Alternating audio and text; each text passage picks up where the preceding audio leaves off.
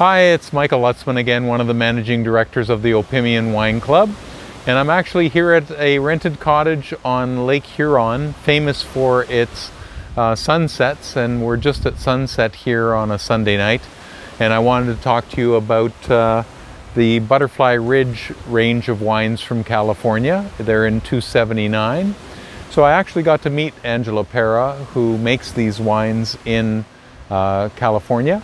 And I have the full range here. I'm not going to try them all tonight, of course, but I've got everything from the Chardonnay to the Rosé to the Pinot Noir to the Merlot and then to the Cab Sauv. That's from light to, uh, to heavy.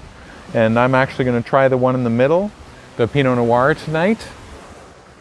And this one I like because it's so versatile. You can actually have this with chicken, with fish, with pork, I even uh, sometimes have it with just a regular steak that doesn't have any uh, sauce.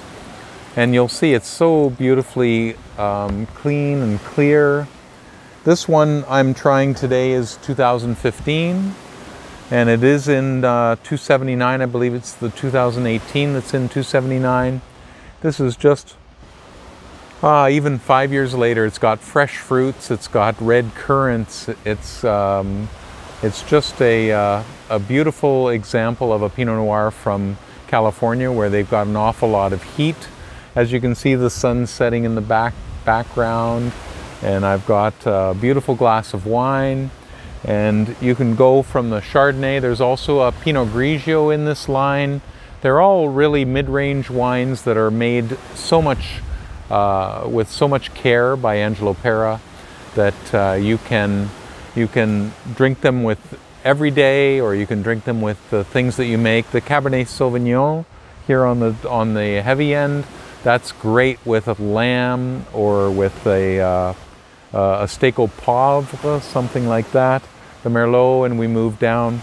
As I say, the Pinot Noir is excellent. So here we are again. Hmm. What I, what I can't believe is that after five years, this is such a fresh wine. It's got lots of acidity, lots of fresh fruit, lots of red berries, that sort of thing. It is absolutely fabulous, as are the whole line. And you'll see these in 279 that's closing on September 21st. So you're going to want to get your, your order in. Uh, I, I love having a full line of the same uh, winemaker like this because then you can try their wines with different food pairings and even on the on the back here with beautiful Lake Huron in the background. I'm sure you can hear the, the surf. It's uh, absolutely fabulous. I'm a very lucky man. And cheers to you at Opimian.